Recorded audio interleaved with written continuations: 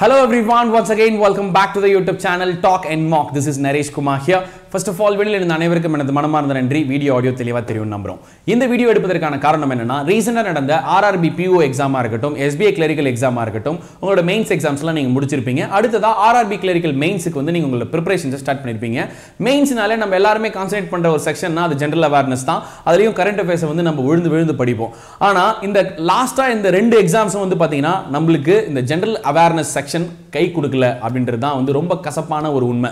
நிறைய மாணவர்கள் வந்து ரொம்ப ஃபீல் பண்ணியிருந்தாங்க. சார் நான் ஆறு மாதம் ரொம்ப கஷ்டப்பட்டு படித்தேன் ஆனால் கேள்விகள் எல்லாமே வந்து ரொம்ப கஷ்டமாக இருந்தது. அவுட் ஆஃப் த பாக்ஸ் இருந்தது.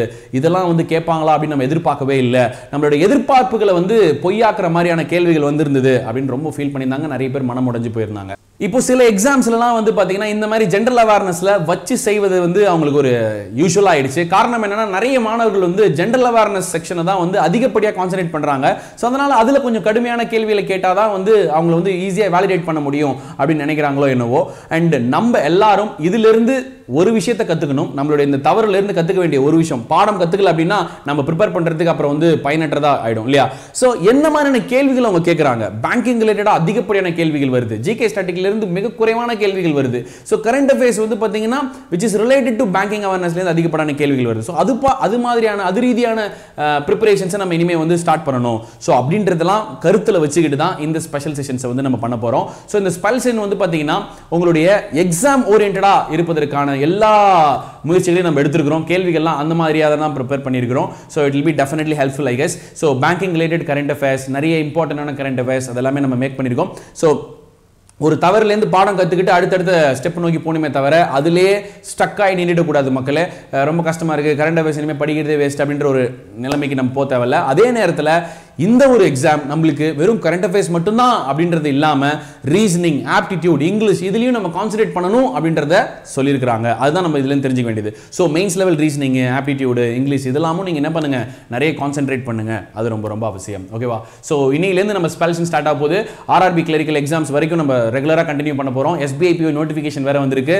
அதற்கான ப்ரிப்பரேஷன்ஸையும் நம்ம இது முடிஞ்சோடனே நம்ம பண்ணுவோம். அண்ட் நிறைய வீடியோஸ் வந்து நம்ம கொடுக்க முயற்சி பண்ணுவோம்.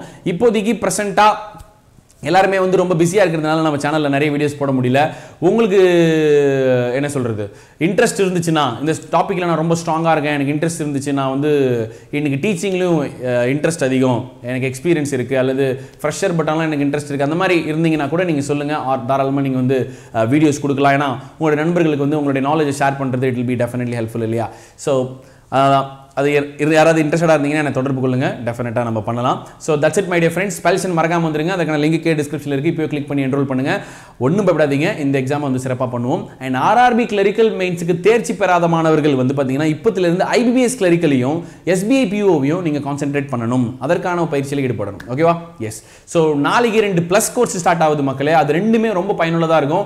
ரெண்டுமே வந்து பார்த்தீங்கன்னா ஒன்று ஐபிஎஸ் கிளரிக்கலுக்காகவும் ஆர்ஆர்பி கிளரிக்கலுக்காகவும் எஸ்பிபிஓ எல்லாத்துக்கும் சேர்த்து தான் அந்த கோர்ஸ் நம்ம பண்ணியிருக்கோம். அது ரொம்ப ஹெல்ப்ஃபுல்லாக இருக்கும். அதுக்கும் நீங்கள் சப்ஸ்கிரைப் பண்ணணும்னா என்னை காண்டாக்ட் பண்ணுங்கள் அல்லது நரேஷ் என்ற என்னோட கோடை யூஸ் பண்ணிக்கோங்க. ஸோ நன்றி. வணக்கம்.